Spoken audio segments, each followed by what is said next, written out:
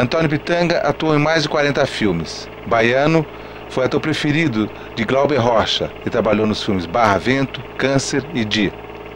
Sua carreira cinematográfica é marcada pelo cinema novo.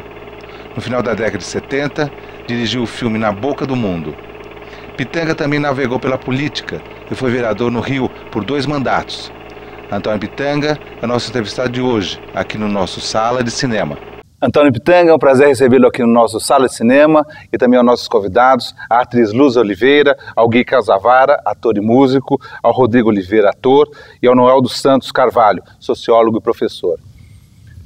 Pitanga, você era mensageiro, carteiro lá em Salvador e de repente foi descoberto e vai para o cinema e acaba fazendo o filme do Trigueirinho Neto. Faz tanto sucesso que o seu nome deixa de ser, passa a ser Antônio Pitanga. Vamos falar dessa história? Bom, vamos falar. Eu nasci no Pelourinho né, e minha mãe foi ser empregada doméstica na Rua Democrata, lá no Largo do Júlio, lá em Salvador. Né?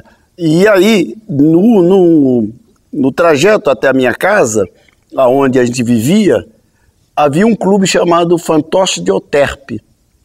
E nesse Fantoche de Oterpe tinha ensaio de teatro, mas lá nego não entrava. E eu ficava muito atento e querendo aprender, entrar, participar daquele grupo. Eu ficava ouvindo, né, do lado de fora, na rua, e vendo lá dentro os atores se mexerem, tomarem as suas posições e tal. E eu disse, eu tenho que entrar nesse teatro, eu tenho que entrar nesse clube. E descobri uma maneira de entrar nesse clube, de me, me aproximar desse pessoal que é que eu fui fazer? Havia os grandes é, os carros alegóricos né, dos clubes né, no desfile de carnaval. E eu me candidatei para ser um dos empurradores de carro. Nossa. Então, para empurrar o carro, eu tinha que entrar dentro do clube. E aí eu fui conseguindo criar uma amizade né, com os atores, sem poder participar, e esse fascínio começou. A gente se acaba e não consegue nada? Ué, não tem cadeia de vez em quando? Tá aí o Matias que o diga. Também ele é besta em concorrer com os do Porto. Logo com quem? Estou é cansado. Se não me aparece logo um negócio, sai desse buraco. Essa coisa de me aproximar desse grupo aparece na, na minha história uma pessoa de, daqui de São Paulo chamado Walter Weber, que conhecia o Trigueirinho Neto. E o Walter disse assim, tem uma pessoa chamada Trigueirinho Neto você não quer fazer uma ponta no filme? Eu disse, quero, claro. Eu queria o atalho. Uhum. E aí ele me levou para conhecer Trigueirinho Neto. Quando eu cheguei, tinha mais de 60 negros da minha idade, mas tudo um armário forte, alto. e, claro, quem indica, QI, ele me indicou, eu entrei e fui falar com o Trigueirinho Neto. Esse é o Pitanga e tal. Esse é o Antônio. Antônio. É o Antônio. E ele olhou ele disse assim, ele quer fazer uma ponta. Eu falei assim, quem são essas pessoas que estão lá fora? Ele disse, não, isso é para o papel do Pitanga, estou procurando.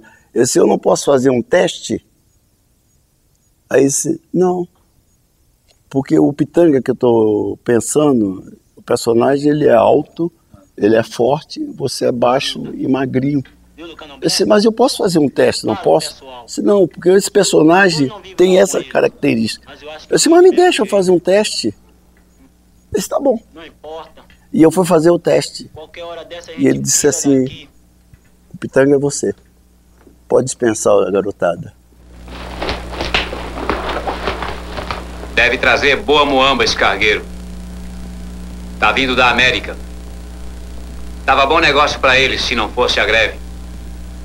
Quando é que é um sindicato? Amanhã de tarde. Só que ainda não tem sindicato. A luta é para ter. Você me apresenta o pessoal quando o navio atracar. Você faz a grande feira do, do Roberto Pires. Grande diretor. Vamos falar desse, desse seu papel e desse filme. A, a Água de Menino ia ser implodida, ia, iam incendiar a Água de Menino, que era uma, uma, uma, uma feira de, onde tinha rampa, onde se vendia coisas populares, é, coisas que o pobre podia comprar, seja da pimenta, seja do cheiro verde, seja da banana, seja do abacate, tudo. Quer dizer, é uma feira bem popular. Não sei se posso dizer a vocês. Ora, Chico, deixa de mistério, desembucha logo. Então lá vai. Vou tocar fogo em tudo. Você está brincando. Brincando? Vocês vão ver. Eles não querem a feira? Vou entregar as cinzas. Aí o Roberto Pires bola um argumento, um roteiro, né? Cujos personagens é, eu passo, é, eu interpreto que é o Chico Diabo, né? Um homem na cadeira de roda que fazia um homem popular, que era um, um humorista chamado Zé Coyol da época. Eu sou homem, eu não gritei. Agora pare, me dê mais uma chance. Os relatores não merecem chance. Oh, Chico, eu, eu não sei nadar. Se você soubesse, eu não trazia. Não, Chico. Não, Chico. Não, eu lhe dou tudo que você quiser. Não quero nada. Não. Só sua vida de povo. Não, Chico. Não. Então, esse filme é um dos filmes, para mim, um dos mais importantes do cinema brasileiro. Pouco. Só assim. Né, numa sala de cinema, em que você provoca, que vai lá pesquisa. Se fala do Roberto Pires, o Roberto Pires foi um dos maiores diretores de cinema. O cinema novo deve muito a Roberto Pires.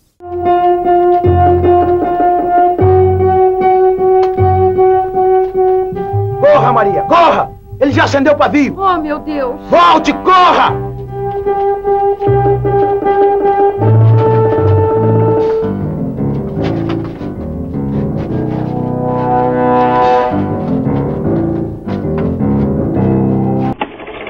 Pitanga tem uma coisa que é uma coisa visceral. Ele não intelectualiza os personagens dele. Então o Pitanga se entrega, o Pitanga abre seu coração e não tenta modificar e chamar o personagem para si. Ele vai em busca do personagem. Pitanga, como que. Boa, né?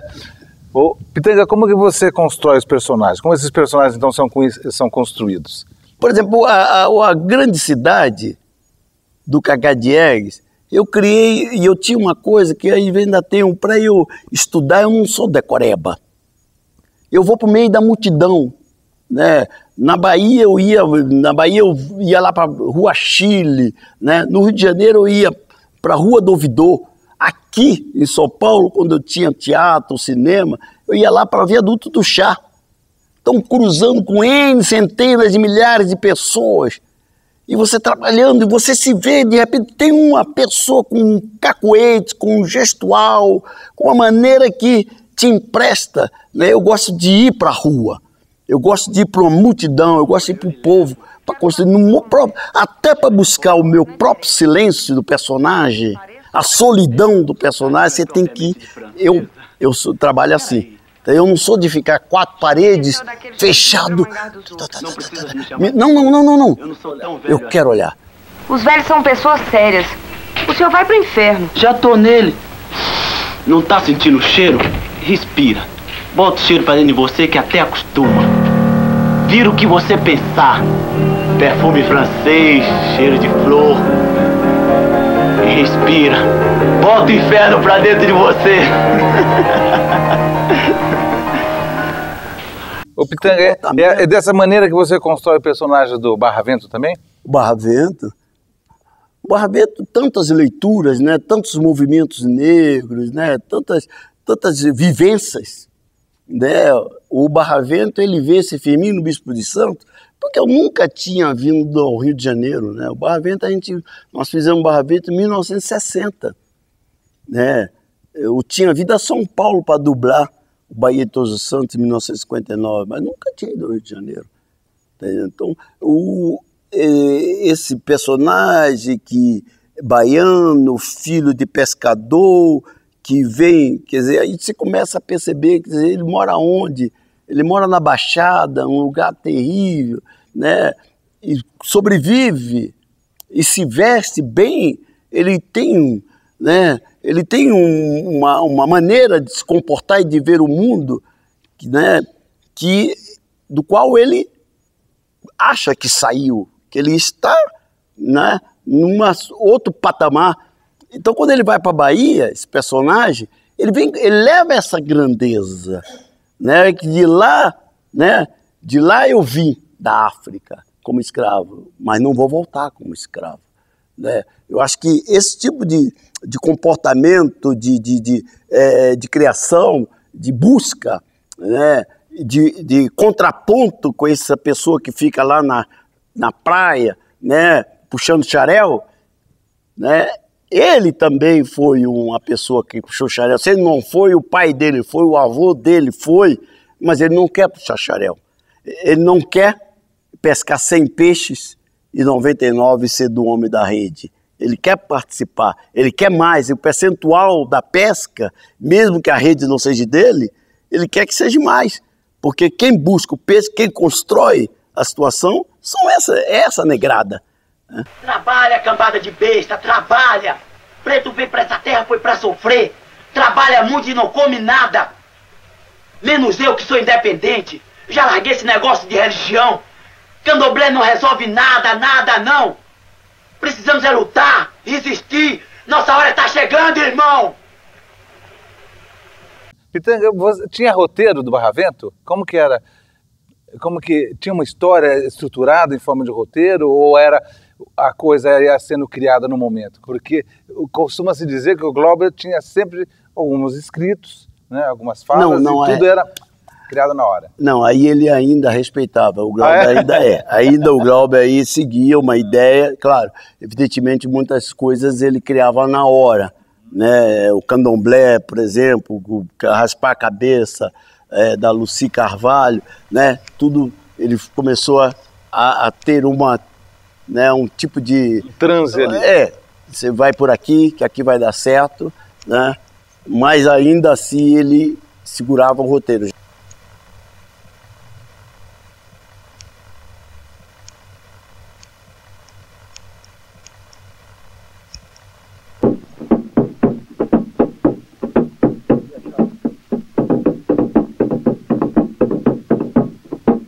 Já depois não, depois já a coisa já era mais. Né? O Glauber era tão louco que a gente fazia um filme sobre som direto, e aí, claro, você estudava o texto, e som direto é som direto, né? Câmera, som, ação, ah, você começa a falar. E ele aí do lado de baixo, ele fala, fala isso, diz isso.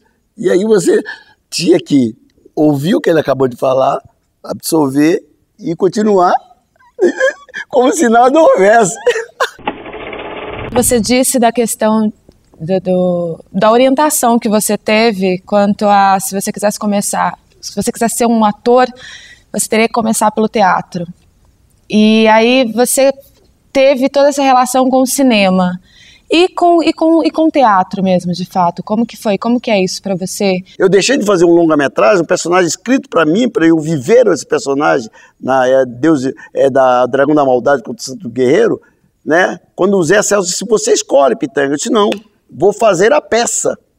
O Poder Negro com a Italanani. Então o teatro para mim tem uma referência. Os meus filhos, a Camila, a Pitanga, o Rouco Pitanga, o Rouco está fazendo agora a Laranja Azul, né, que é um louco, está fazendo um, três, três personagens, três atores, tá entendendo? Então a Camila produz teatro, é, porque a essência do ator o conhecimento do ator, o exercício do ator, a revelação da alma do ator vem do teatro. E quando termina o chassi, o, o Dib Lutz diz assim, acabou o chassi. Eu falei, o Glauber veio para mim pálido. Pela primeira vez eu vi o Glauber pálido. Você é maluco?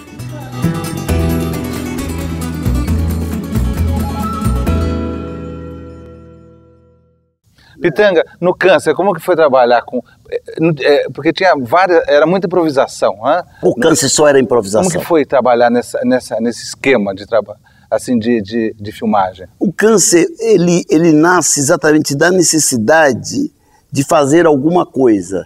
Né? É, nós fomos contratados pelo Glauber para fazer o Dragão da Maldade contra o Santo Guerreiro. E aí houve a greve na Sorbonne, e aquele todo movimento de 68 no mundo inteiro que começa em Paris com os estudantes, né, ecoa pelo mundo inteiro, e o empresário francês que iria trazer o dinheiro da França não chega, fica impedido de vir ao Brasil. Aí nós, né, de repente, o que fazer? O Glaube ganha um dinheiro de Deus e Diabo na Terra do Sol. Chama Odete Lara, o Ru Carvana, eu, né, e faz uma reunião disse, olha, eu recebi um dinheiro, metade desse dinheiro vai para minha mãe, para pagar a casa, que, eu, que, eles compraram uma casa na rua Sorocaba, e a outra nós vamos fazer um, um câncer, que é Neste dia maravilhoso, a cidade do Rio de Janeiro amanheceu com câncer. Esse era o título. Título quilométrico. Não, isso é meu, isso é meu, não é Isso é meu. Fica com ele, fica com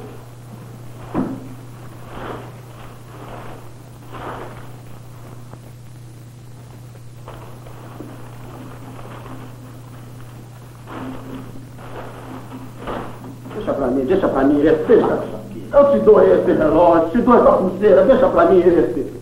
O câncer é uma ideia de como os atores, o Globo fazia muito isso. Se você tem a capacidade de improvisar, de buscar, de interrogar, né? E o meu personagem no, no câncer era exatamente esse fustigador, É, perguntador, né? né? perguntador, provocador, provocador, né?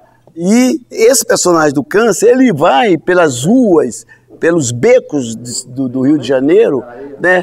Perguntando, provocando, interrogando, extraindo do povo. E aí é o roteiro do Glauber. Quer dizer, quando você ele botava um chassi, se você tiver a capacidade de improvisar, de buscar, o chassi é teu. Não tem isso.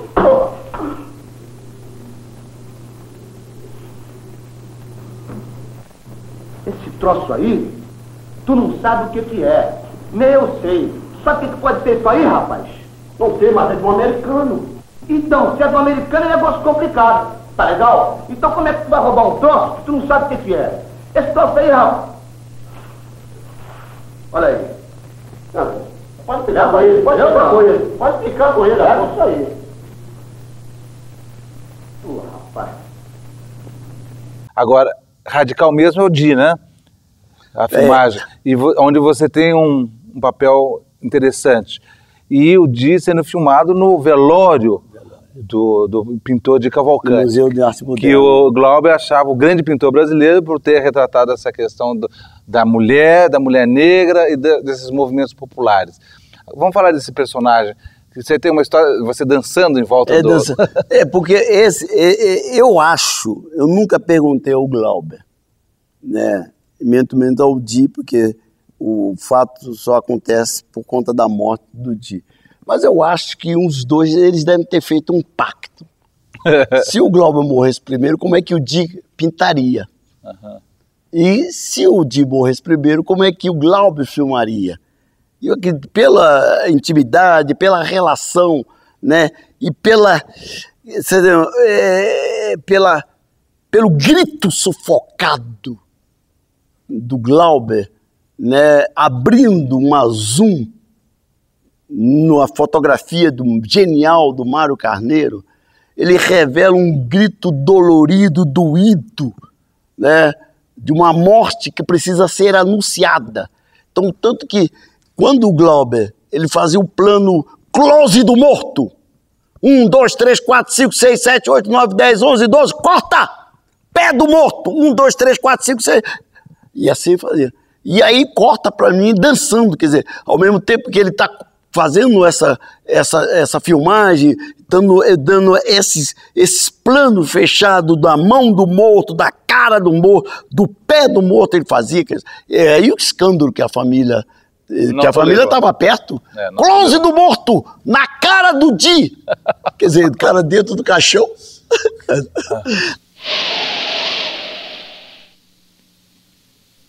Bendito seja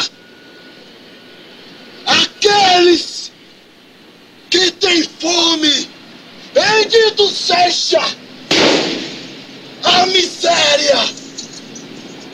Porque um dia eles se libertarão. Na Idade da Terra, quando você vai fazer aquele personagem que entrevista o Castelinho, aquilo era tudo improvisa? Improvisação? Improvisação.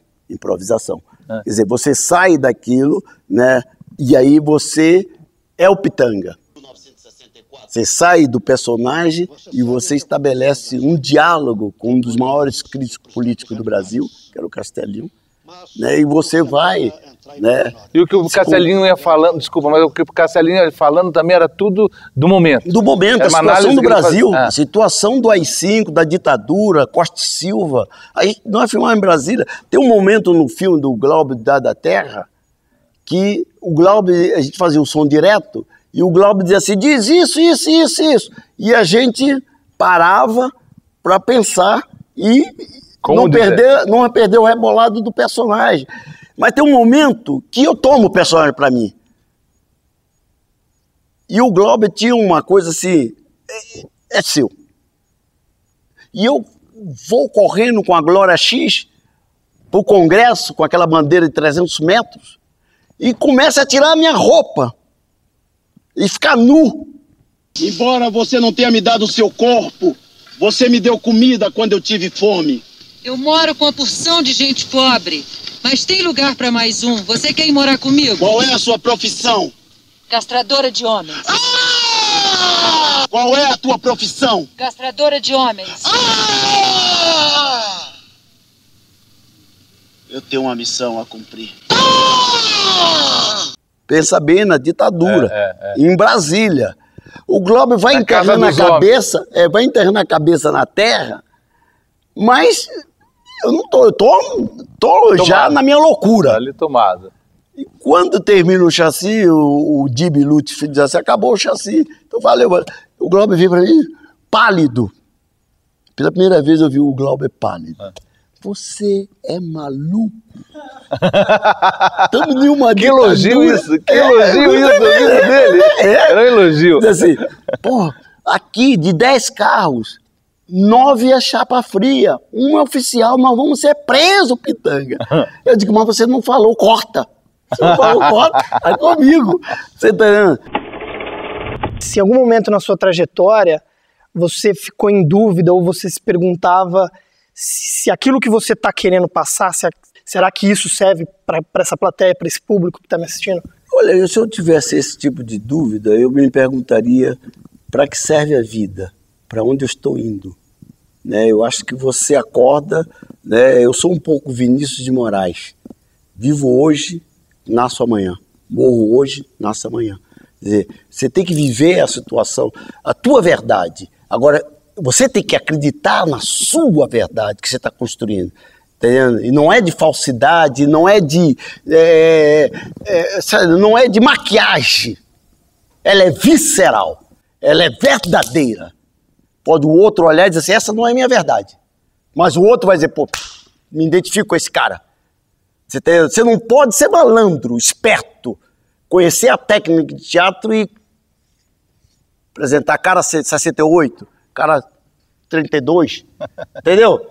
Você tem que aí o, o- e o teatro dá esse, dá esse parâmetro, dá essa escola, dá esse mergulho. O teatro dá esse mergulho. Você pode até achar isso na televisão. né? Mas você, você diferencia, você sabe o ator de teatro que está na televisão e o que não é de teatro. Né? O que emite, quer dizer. Então eu acho que não é que eu não tenha tido, claro que a gente tem, né? mas porque você está à procura né? de, uma, de um consenso, de, um, de, um, de uma verdade, extrair uma verdade daquilo que você está construindo é, desse personagem, dessa maneira de comportamento, porque você sai de você. Se você é você no personagem, está errado. Aí as dúvidas vai pirar. Aí você vai pirar. Agora, quando você empresta gestual, situação, e você constrói esse personagem, ele é, ele existe. Tanto que às vezes, eu, por exemplo, eu, eu tenho uma coisa que eu gosto de fazer quando eu estou fazendo teatro. Hoje, com todos os perigos, eu ainda faço. Eu saio do teatro, eu sou o último a sair do teatro, tomo meu banho, pego meu carro e dou uma volta longa até chegar em casa. Aí eu cheguei em casa, aí chegou o Antônio Pitanga em casa. Entendeu? Não chega com aquela adrenalina toda em casa, sai para para casa não. Entendeu? Eu, é essa maneira que eu tenho. Libertada. Esteja as cozinheiras. Libertado. Esteja todos os paralíticos. Libertada uma democracia, uma liberdade maior. Mas fui preso, condenado, fugi. Adeus. Você viverá em paz. Viverei sim. Você está curada. Está libertada. Eu sou a paz. O Anselmo Duarte, ele sai de São Paulo né, com uma ideia fixa que ele ia fazer o melhor filme do mundo, que ele ia ganhar a palma de ouro. Não é mentira.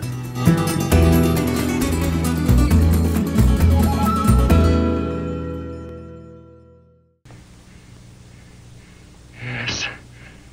Só pode ser essa. E agora? É cedo ainda. Vamos esperar que abra.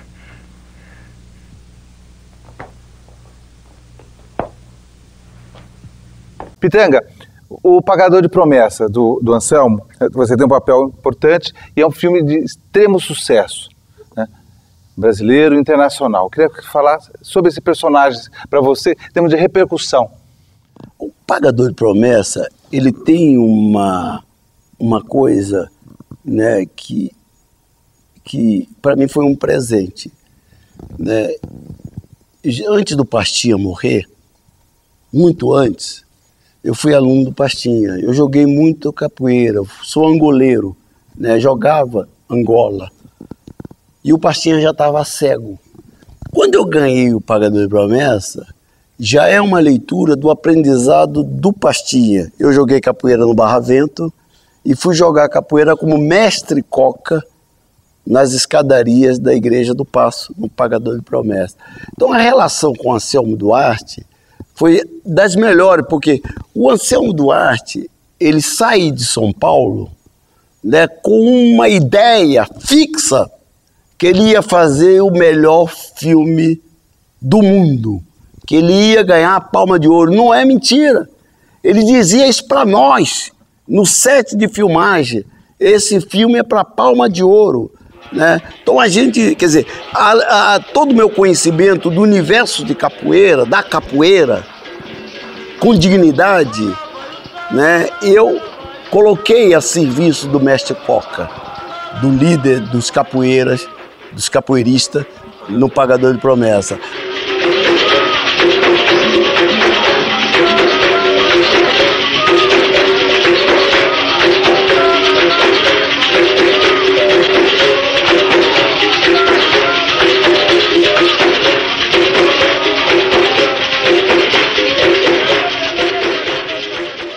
Relação com a Norma Bengo, com a Glória Menezes, Leonardo Vilar, eu sou eu que trago Geraldo Del Rey para o pagador.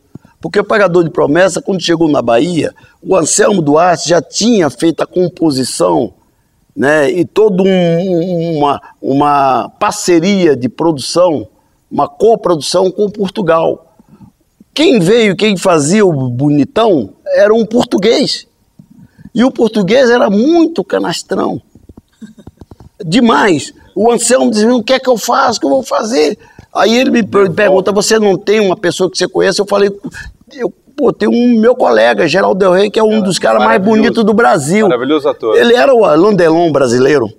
Né? Tinha feito Redenção do Roberto Pitt, tinha feito a Grande Feira. E aí o, levei para conhecer o Geraldo Del Rey. O Geraldo Del Rey fez o Bonitão, quer dizer, tinha o Bonitão 1, que era o Geraldo, e o Bonitão 2, que era o português. O português fazia tudo, toda a marcação que o Geraldo Del Rey fazia. Então, a gente criou ali, exatamente pela liderança do, do, do, do Anselmo Duarte, nós, os atores baianos, Geraldo Del Rey, Otton Basto e eu, né?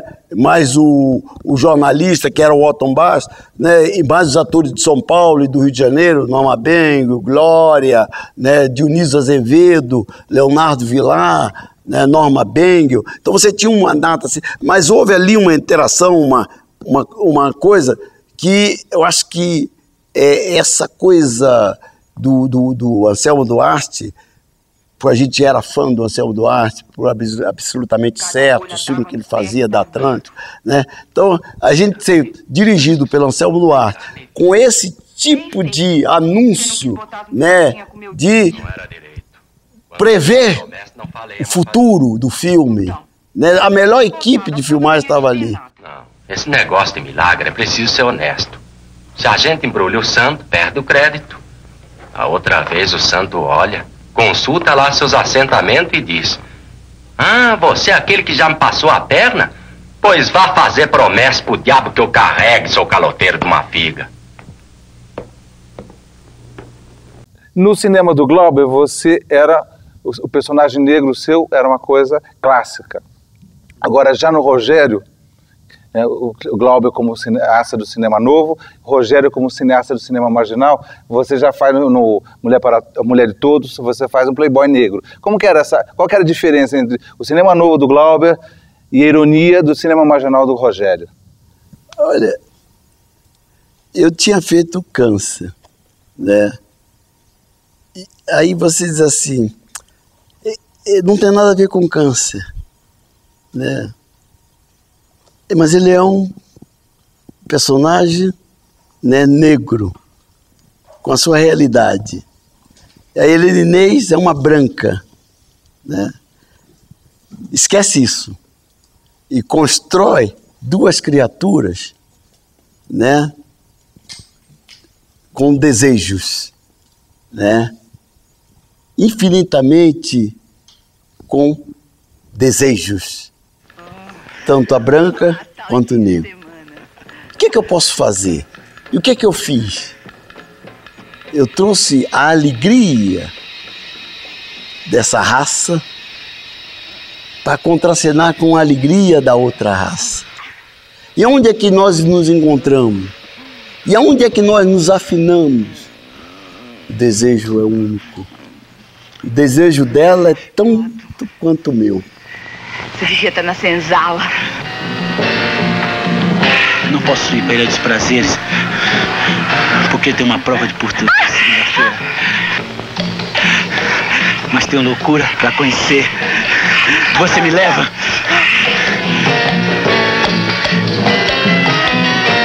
Como que era o Rogério como diretor?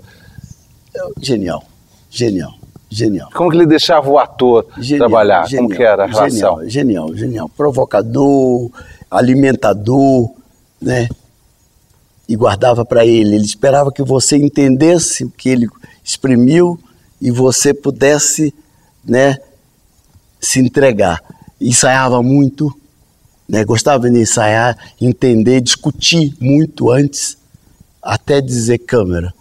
Né? E a partir daí ele entregava tanto para mim, para o Estênio Garcia, para o João Soares. E tinha roteiro? Tinha um roteiro. Um demônio anti-ocidental! Uma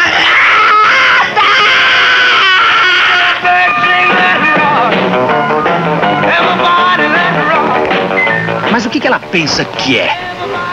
O que, que ela quer? Afinal de contas, existe uma ordem. Ninguém pode fazer o que quer assim sem mais nem menos. Você trabalha com Cacá Jags no Ganga Zumba, fazendo o lendário descendente do zumbi. Vamos falar da pesquisa para fazer esse filme, esse personagem, que é um personagem importantíssimo na, na trajetória do cinema brasileiro. Olha, cinema negro brasileiro. Cinema negro. Né? Depois do Barra Vento, né, acho que foi um grande prêmio, um presente, né? Quando o Kaká me convida para fazer o Gangazumba ser o rei, Gangazumba, o Antão, né, de Palmares. É, e todos os escritos né, que a gente, de uma certa maneira, teve acesso, a maioria era feito pelo colonizador. Até hoje, a história do Brasil ainda não foi contada, a verdadeira história do Brasil. Né? Quem escreveu foi o colonizador. Né? Então a gente também teve esse cuidado com o Cacadier, com sua equipe de pesquisadores, de mergulhar não no que está escrito, no outro universo. Né? E aí a gente vai procurar exatamente a verdadeira história de Palmares. Né? Desse cara que veio de, da África, que era um rei, né, que se tornou escravo.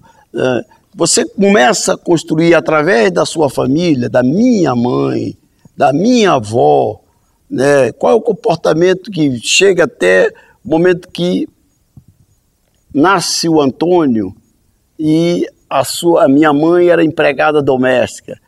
Eu começo a perceber que minha mãe devia ser uma rainha. Né? E estava ali cumprindo um processo que não era dela, né? Talvez filha de escravo.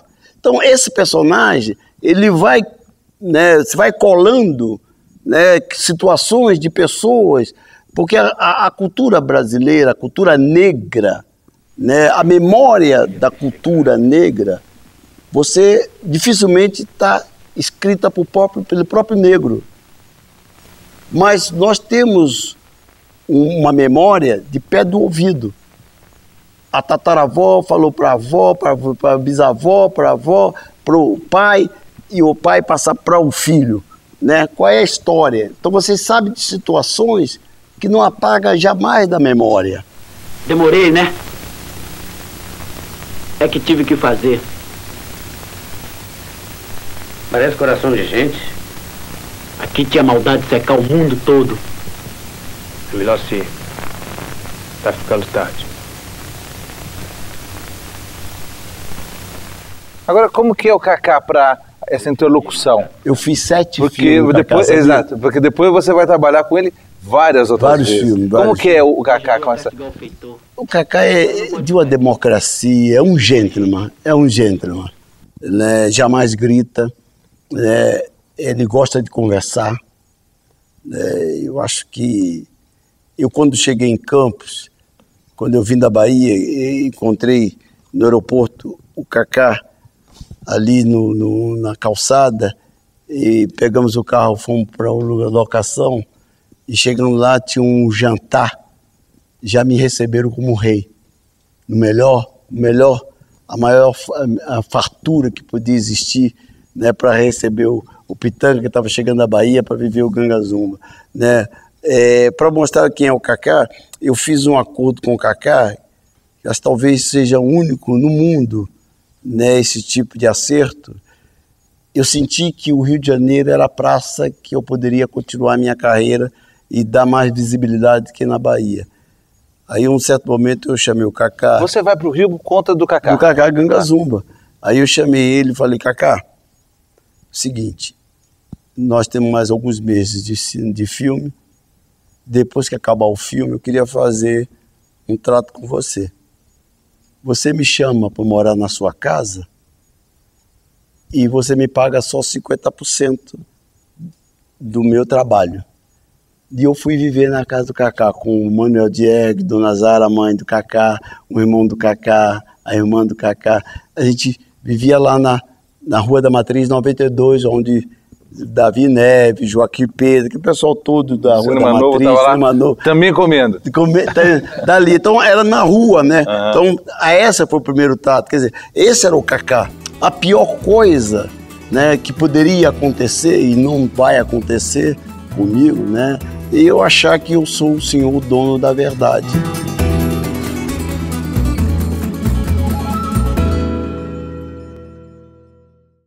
Outro diretor que você acaba fazendo uma parceria né, grande também, com menor- menos filmes, mas mais proveitosos para ambos, é o Walter Lima. né? É, o você Walter vive, Lima você fiz- faz o, o Chico Rei, que é um grande. Chico Rei, menino de engenho, né? Um grande personagem, né? também no Menino de Engenho. Vamos falar desse, do Chico Rei. que o Chico Rei é essa, é, é- é essa visão, é esse tipo de, de comportamento do cinema novo, é esse tipo de focagem do cinema novo. Né?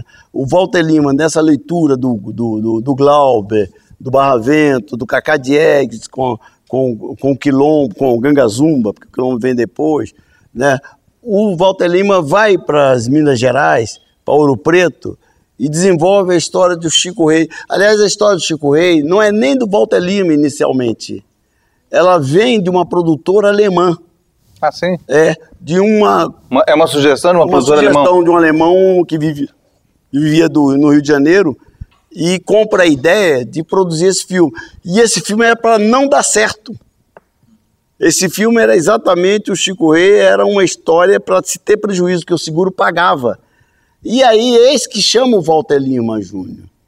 E o Walter Lima me chama, chama um elenco né, fantástico, maravilhoso, né, para compor né, esse projeto dele.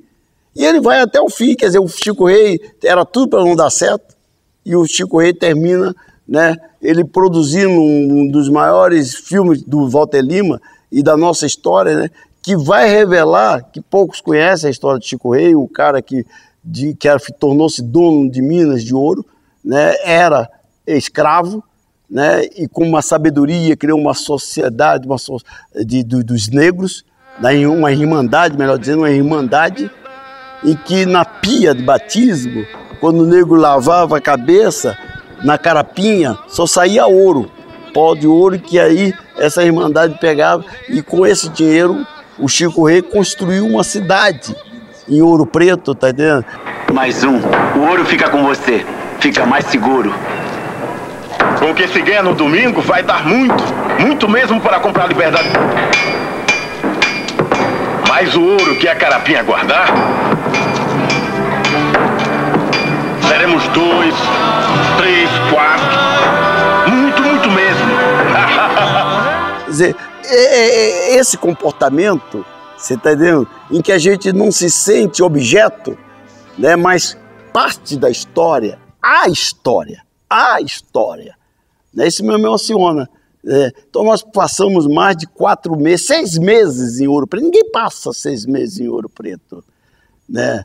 Então Passei, ninguém passa seis meses em Ouro Preto, nem ninguém passa três meses em Veneza. Eu passei três meses em Veneza com os altos sacramentais, saí de lá com as águas já expulsando a gente. Então, esse tipo de, de processo de trabalho nos emociona, quer dizer, ele dá uma coisa, dá para você o exercício da sua profissão. Né? Eu acho que da, da questão da questão negra, né, em que você é, parte desse processo de luta, de contestação, de revelação, né? e que o cinema é, essa grande, é esse grande meio de comunicação de você poder né, abrir as lentes e mostrar toda uma história, de, uma das histórias mais importantes, né, como foi da Chica da Silva, como foi da, dos Malês, do Gangazumba, né, então da Luísa Maim, né, do, do, do, acho que essa é, é, revolta dos malês, né? Malês, malês, entendeu? E comece a trabalhar para encontrar o ouro que eu estou devendo ao outro rei, o rei de Portugal.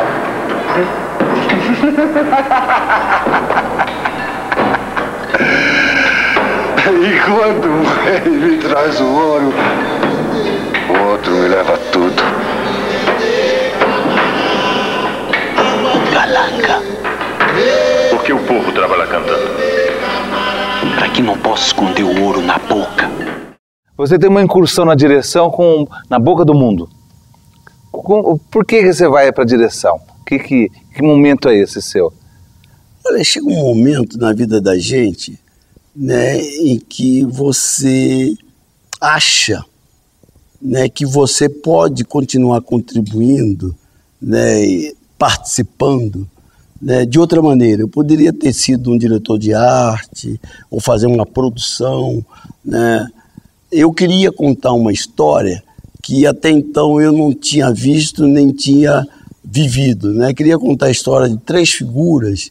Então eu escrevi uma ideia que nasceu eu e o Cacá Diegues, de três figuras, um negro, uma mulata e uma branca, no centro do universo por acaso era no Brasil, por acaso era em Campos, né? em que essas três figuras é, pudessem revelar através das suas vísceras né, as suas incertezas e seguranças, né, a sua verdade, o seu, né, a, é, todo esse potencial né, de, de, de, de conquista ou de, é, de luta.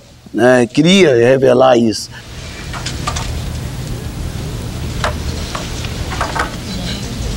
Essa é minha irmã, Terezinha, Dona Clarice. Você é muito bonita. A senhora também. Meu nome é Clarice. Clarice. São um caranguejo, vendo ajudar nosso pai. E construímos esse argumento com esse tipo de sinalização. E dei para o Leopoldo Serrano fazer o roteiro. Né? Nós fizemos esse filme com a Norma Bengel, né, Milton Gonçalves faz uma participação, Thelma Reston e eu. Eu dirigia e produzia, né, e atuava. Né, mas eu achava, né, e eu, com certeza, ele é, completou, me completou, né, no sentido de aquele desejo, né, aquela situação, aquele filme, eu queria que fosse revelado, que fosse feito. E eu consegui fazer, foi escrito na, foi convidado para a Semana dos Realizadores em Cannes, né? Eu não sou de vender a alma para fazer alguma coisa, né? Eu gosto de como eu como é que eu vou ser envolvido, né? Eu não acho que eu tenha que é, tenho que fazer o minha peça, o meu filme, né? Nós vamos fazer nós estamos participando, nós estamos produzindo. Né? Eu tenho esse tipo de comportamento, tanto que eu fiz esse filme em 1977. Acabou, Terezinha. Eu te traí, eu te traí. Eu não consegui. Ela ia se matar. Ela tinha um vidro de veneno, Terezinha. Eu não podia fazer isso com ela. Ela ia se matar, mas me encontrou e disse que eu era o mais do mundo. Pensando desde da década de 60 até agora, todos os filmes que você fez, assim, para o seu processo criativo, não só como ator, que seria a visão mais forte, porque você, sendo protagonista ou antagonista ou figurante, nenhum papel é pequeno, só existe pequenos atores. Você acha interessante pegar esse processo? Eu quero saber o que o cara da trilha está fazendo. Eu quero saber o que, que o diretor de fotografia está achando. Eu quero me incluir nesse processo para conseguir ganhar uma outra consciência do personagem que não é só do argumento, mas dessas técnicas palpáveis, impalpáveis e tal, coisas que não têm a ver com o texto, mas o que influenciaria a, as suas palavras. A minha formação ou a nossa formação sempre teve né, esse cuidado né, de interagir em todas as áreas. Né? Eu, não, eu não acredito né, que alguém possa fazer teatro e não ter conhecimento dos meandros, desde a maquiagem, desde a cenografia, da música, da luz, do processo né? Quando a gente chega, chega no teatro, eu chego uma hora e meia, duas horas antes. É, aquele silêncio, é todo esse comportamento da pessoa que serve café, que faz o lanche, é uma família. E cinema nunca foi diferente. Para mim nunca foi diferente. Para os meus filhos nunca foi diferente. Meu filho chega duas horas antes, minha filha chega duas horas antes no teatro. Cumprimenta todo mundo, interage com todo mundo. Porque senão você é um falso, você é uma mentira. Você é um blefe. É, é, mesmo até que você esteja fazendo um monólogo. Pode jogar seu quebrado que eu não estrada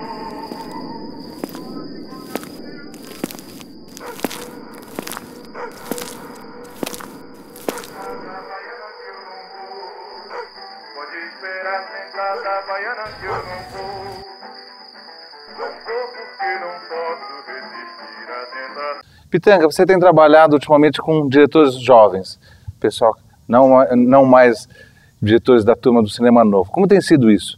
Que, essa troca agora? Agora você já como o clássico Antônio Pitanga. Ah, bom, é um aprender cinema, teatro é um aprender sem fim. Se não houver entrega, você não vai aprender. Não, ach, não, não adianta eu achar que, eu, que a minha verdade ela é valiosa e ela é plena e ela basta. Não. Saber ouvir é um exercício do crescimento da alma humana. Né? Eu acho que esses jovens estão me ensinando muito, né? sem nenhuma demagogia. Né? Quando você vai né? É, são revelações, são, são é, todo um, um, contexto, né? uma mise-en-scène que é dele. É, e eu acho que o olho né, de quem está abrindo aquela lente hoje é o olho de hoje, não de ontem. Você tem todo, toda a escola que eu tive, claro que vale. Você não rasga a tua história né, teu aprendizado, você não rasga. Mas todo esse comportamento, todo esse tipo de leitura, ele serve para que você possa aí sim, vestir de tolerância, né? E poder entender e colar com a sua história essa novidade. Você nunca sabe quem é que pode estar de trairagem com você. Tenha que ficar de olho aberto e esperando pelo pior, mas sem se precipitar. É, Luci. Quem bate não se lembra, mas quem apanha não esquece. Salva quem por te amar padece e chora. Sem o sol do teu. Tenho feito muito curta-metragem de jovem. Outro dia eu fui para a Bahia fazer um curta-metragem premonição. Outro dia eu fiz agora no Rio de Janeiro um curta-metragem do pessoal da faculdade lá do Rio de Estácio. A gente ter me chamado, convidado, eu vou ler, faço. Tá? Porque eu acho que a pior coisa né, que poderia acontecer e não vai acontecer comigo, né, é eu achar que eu sou o senhor dono da verdade. Entendendo? Eu acho que o artista é aquele que está sempre aprendendo, e aprendendo, e aprendendo, e aprendendo, está construindo e está construindo. É por isso que eu acho que você vê uma Fernanda Montenegro com 80 e tantos anos, né? uma Riqueta Brieba morreu com 94 anos dando cambalhota, né? você tem Ruth de Souza, né? você tem grandes nomes, Léa Garcia, aí, exato, firme, porque a gente é um eterno aprender. O dia que você disser, estou realizado, pode fechar o caixão, tchau.